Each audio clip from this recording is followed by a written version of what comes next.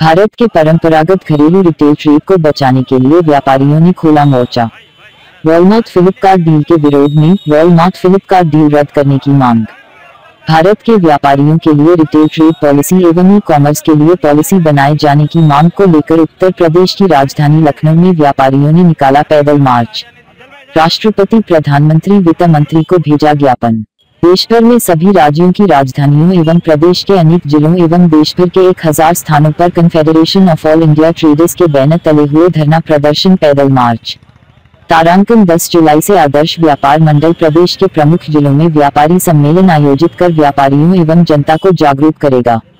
आज 2 जुलाई सोमवार उत्तर प्रदेश आदर्श व्यापार मंडल संयुक्त confederation of all India traders के बैनर तले, प्रांतीय अध्यक्ष संजय गुप्ता के नेतृत्व में, राजधानी के व्यापारियों ने रिटेल व्यापार को बचाने एवं बढ़ाने के लिए, तथा ई कॉमर्स के क्षेत्र में विश्व की सबसे बड़ी वॉलमार्ट फ्लिपकार्ट डील के विरोध में। तथा डील रद्द करने की मांग को लेकर लालबाग सुपरमार्केट से गांधी प्रतिमा जीपीओ तक पैदल मार्च निकाला, जिसको नगर निगम के पास पुलिस बल ने रोक ज्ञापन लिया। वॉलमार्ट फ्लिपकार्ट डील रद्द किए जाने की मांग भारत के रिटेल ट्रेड के व्यापारियों के लिए। व्यापार नीति ई कॉमर्स के लिए पॉलिसी बनाने की मांग का ज्ञापन जिला प्रशासन के एसीएम प्रथम श्री आनंद सिंह जी के माध्यम से राष्ट्रपति प्रधानमंत्री वित्त मंत्री को भेजा। देश का रिटेल ट्रेड खतरे में आ गया है। बड़ी बड़ी बहुराष्ट्रीय कंपनियों ने भारत के रिटेल सेट पर 45 प्रतिशत से अधिक अपना कब्जा कर लिया। और दो बड़ी कंपनियों वॉलमार्ट फ्लिपकार्ट ने डील करके भारत के व्यापारियों की चिंता बढ़ा दी है। व्यापारी नेता संजय गुप्ता ने कहा वॉलमार्ट फ्लिपकार्ट डील अभी कंपटीशन कमीशन में पेंडिंग है। यदि यह डील केंद्र सरकार ने रद्द नहीं की तो भारत के रिटेल व्यापारियों का भविष्य अंधकार में हो जाएगा। भारत का परंपरागत घरेलू रिटेलर इन बहुराष्ट्रीय कंपनियों के यहाँ नौकरी करने को बाध्य हो जाएगा। उन्होंने कहा वॉलमार्ट मेट्रो एवं अन्य कंपनियों को होलसेल की अनुमति दी गई थी। किंतु यह कंपनियाँ होलसेल के बहाने छद्म रूप से रिटेल व्यापार भी कर रही हैं। उन्होंने कहा, केंद्र सरकार ने सिंगल ब्रांड रिटेल में 100 प्रतिशत एफ़ की अनुमति है। इससे भी भारत के परंपरागत रिटेल व्यापार पर भविष्य में बहुत बुरा असर पड़ेगा उन्होंने बताया, उत्पादकों के साथ मिलकर बहुराष्ट्रीय कंपनियाँ अपने एकाधिकार वाली पैकेजिंग एवं मूल्यों का निर्धारण कर रही हैं जबकि इनको जो अनुमति दी गई थी, उसमें स्पष्ट उल्लेख है कि यह किसी भी प्रकार की कीमतों को प्रभावित नहीं करेगी लेकिन यह कंपनियाँ सरकार के नियमों कानूनों का उल्लंघन कर रहे हैं और अपने बनाए नियम कानून चला रही हैं। उन्होंने कहा केंद्र सरकार के वाणिज्य मंत्रालय ने चार वर्षों में एफडीआई और ई कॉमर्स कंपनियों के प्रति सजगता दिखाई।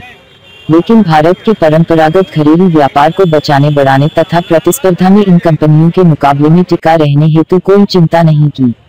व्यापारियों ने प्रधानमंत्री, राष्ट्रपति, वित्त मंत्री को भेजे ज्ञापन।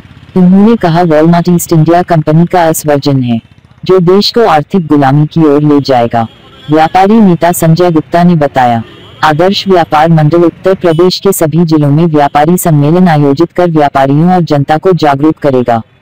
पैदल मार्च में संगठन के प्रदेश उपाध्यक्ष अविनाश त्रिपाठी, प्रदेश उपाध्यक्ष एवं मीडिया प्रभारी इलबल हसन, प्रदेश कोषाध्यक्ष शून्य अफजल, प्रदेश उपाध्यक्ष शशिकांत शर्मा, प्रमोद शर्मा, नगर के वरिष्ठ महामंत्री दीपक लांबा, प्रवीण वर्मा, रिपोर्ट मोहन वर्मा पर प्रदर्शन हो रहे हैं। अगर सरकार ने नहीं हम लोगों की बात को सुना तो हम लोग भारत बंद जैसे कॉल भी कर सकते हैं।